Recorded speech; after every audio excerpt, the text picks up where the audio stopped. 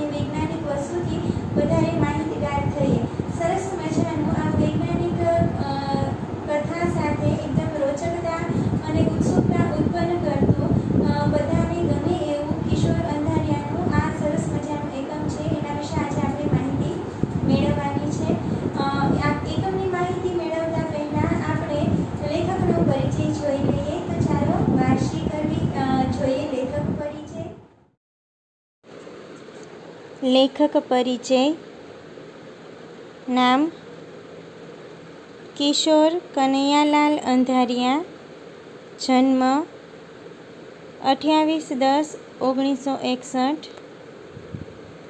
કિશોર કનૈયાલાલ અંધારિયાનો જન્મ ભાવનગરમાં થયો હતો હિમખંડ નવલકથા મંગળ અમંગળ લઘુ નવલ વલયની અવકાશી સફર નામે વિજ્ઞાન કથાના પુસ્તકો આપ્યા છે.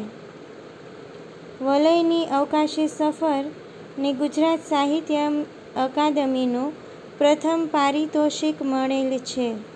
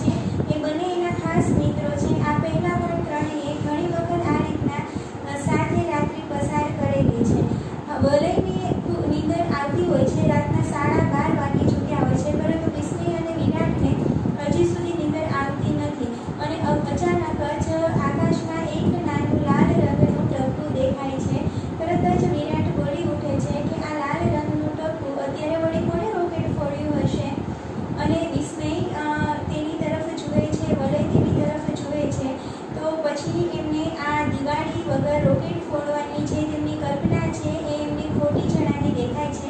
કેમ કે આ લાલ રંગનું ટપકું જ્યાં જ્યાં જ્યાં જમીન તરફ નજીક પહોંચતું જાય છે એ દરમિયાન એ મોટું ને મોટું થતું જોવા મળે છે અને લાલ, મોટો, ઘેરો, આખો પ્રકાશિત થઈ વળે એવો એમાંથી પ્રકાશ વધી રહ્યો છે. તે અજા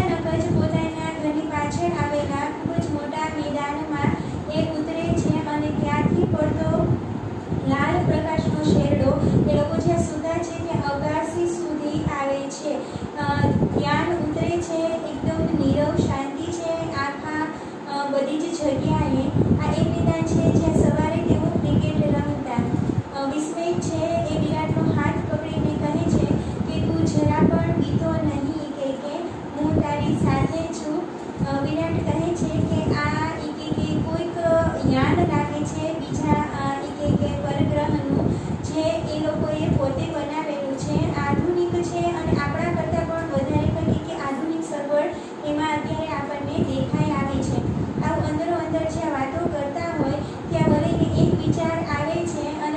છે કે આપણે શું એ કે હું નીચે જાઉં અને નીચે સૂતા છે મારા મમ્મી, પપ્પા અને કાકા, એને જગાડું. તરત જ વિરાટ છે એને અટકાવે છે અને કહે છે કે, આપણે ખાઈએ એટલા મોટા એ કે નીડર હોતા નથી એ કે એને જગાડ.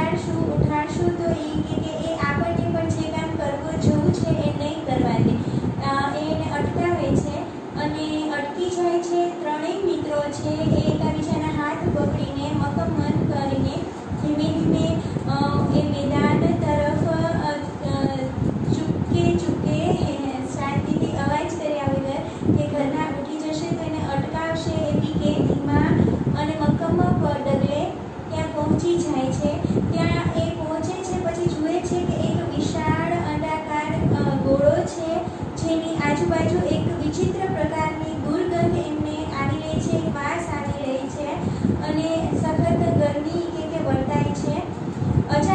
થોડીક વારમાં જ એક એવો બનાવ બને છે કે ત્રણેય વિચારતા જ કરતા રહે છે. એ જુએ છે કે અંદર જવાનો ક્યાંય રસ્તો છે કે નહીં. પરંતુ આખા અંડાકારમાં જાણે એમને એવું લાગે છે કે આ એક આખી અખંડ કૃતિ છે. આમાં ક્યાંય અંદર જવાનો રસ્તો એમને મળતો નથી. થોડી જ વારમાં એર કન્ડિશન ફૂલ કરેલું હોય અને ઠંડી એટલી ફરી વળે એવો અનુભવ એમને થાય છે. આજે જે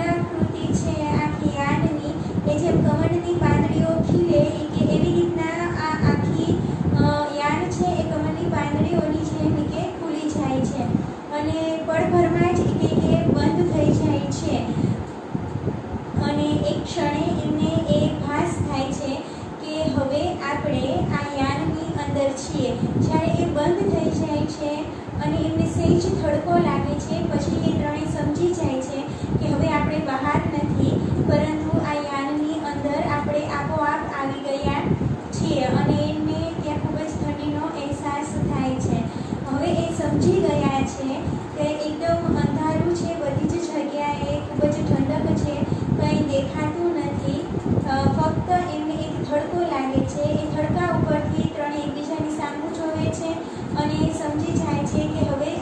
જમીન ઉપરથી આ જે પરગ્રહ યાન આવેલું છે. એ યાન દ્વારા આપણે એના ગ્રહમાં જઈએ છીએ અને આપણે આ લોકોના હવે કેદી બની ગયા છીએ. આપણે આપણા ઘર, રાજ્ય, સ્થળ છે, આપણા પરિવારજનો છે, આપણું ગામ છે, એ બધાથી દૂર. હવે કોઈક બીજા ગ્રહના યાનમાં આપણે